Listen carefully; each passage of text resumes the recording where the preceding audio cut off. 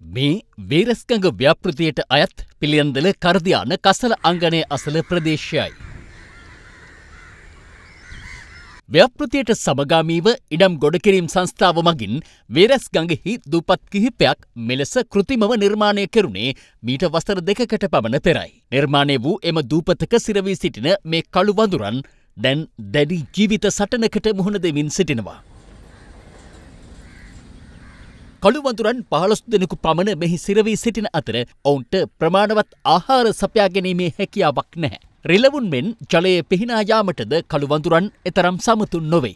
යාන්ඩුවෙන් දම්ම මේක කපනවා දැන් දැන් මෙතන මේ සත්තු කොටු වෙලා ඉන්නවා අපේ ළමයිට කවදාද ඉතින් සූ එකේදී තමයි වඳුරෙක් හරි පෙන්වන්න වෙන්නේ අනාගතයේදී දුකයි ඛේද වාචකයක් මේක ඇත්තටම පහතරට තෙත් කලාපේ දකින්නට ලැබෙන මෙරටට ආවේනික මෙම කළු වඳුරන් සීග්‍රේන් වඳවී යන සතුන් විශේෂයක් ලෙසත් අන්තර්ජාතික සංරක්ෂණ සංගමය මගින් දෙදහ සතර වර්ෂයේදී නම් කෙරුණා. මේගොල්ලන්ගේ භෝජන විලාසය ගත්තොත් තුරු මුදුන් වල ඉඳගෙන ගස්වල දළු තමයි මේගොල්ලන්ගේ ප්‍රධානම ආහාරය වෙන්නේ. ඉතින් ඇත්තටම මේ දූපතේ ඒ සතුන්ට කන්න සුදුසු ශාක නැහැ. ඉතින් එවැනි තත්ත්වයක් තුළ මේ සතුන් තවදුරටත් මේ කුඩා දූපතක ආහාර ඉංගකින් ඉඳලා මිය යන එක සුදුසු නැහැ. අපි වනජීවි සංරක්ෂණ දෙපාර්තමේන්තුවට යෝජනා කරන්නේ වෙනත් සුදුසු ස්ථානයකට මේ සතුන්ව ගෙන ගොස් මුදාහරණ ලෙස තමයි අපි ඉල්ලා සිටින්නේ.